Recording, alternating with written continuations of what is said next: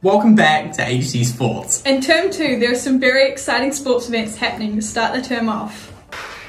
Next Wednesday, we have the HC Powerlifting Comp. This is open to all students from year 11 and above. If you would like to register, please contact Mr. Pearson.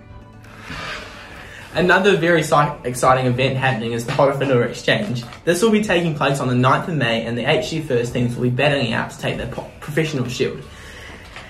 Make sure to be on the lookout for any more information through the assembly this week and on the HC Instagram pages. There will be a cross country event taking place on the field on Friday. There will be house points on the line as well as a selection for the CSW champs on the 10th of May. Listen out in the assembly for more information. We have the privilege of welcoming Tyra Pearson, our community captain, onto the show. Tyra, thank you for joining us. Um, would you be able to explain what events are taking place this weekend? Well, this weekend we have Relay for Life, which is a big fundraiser for the Cancer Society. So it's coming, going to be taking place on the 29th and 30th of April, and it's taking place at the Trentham Racecourse. So you can arrive at this event at 12, but it doesn't start until 3 p.m. and closes at 7:30 a.m. This sounds like a very exciting event. Do you have a message for any of the HC participants out there?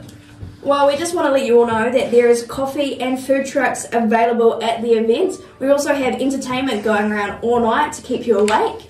We have some great food trucks such as Mint, Taco Addicts, Mr. Whippy, Sushi Burrito, Hong Kong Foodie, and coffee there. There will also be Grease, the movie, happening at 3am. Wow, this sounds like a very exciting event taking place this weekend. And next week on the show, we will update you with all the exciting things that happen over this weekend. That's it from us. Make sure you stay up to date with everything sports on the HC Sports Instagram page. From the team at HC Sports, thank you. Remember, if it doesn't challenge you, it doesn't change you.